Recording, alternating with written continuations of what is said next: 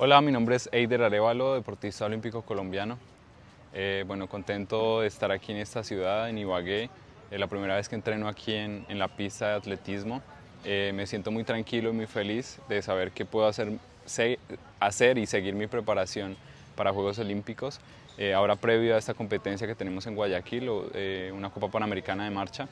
Y bueno, feliz porque sé que esto es desarrollo para todo el país, no solo para la ciudad y para para el departamento del Tolima, sino que para todo el país es desarrollo de atletismo y esto es muy bueno y es muy importante porque aquí pueden salir muchísimos talentos. Eh,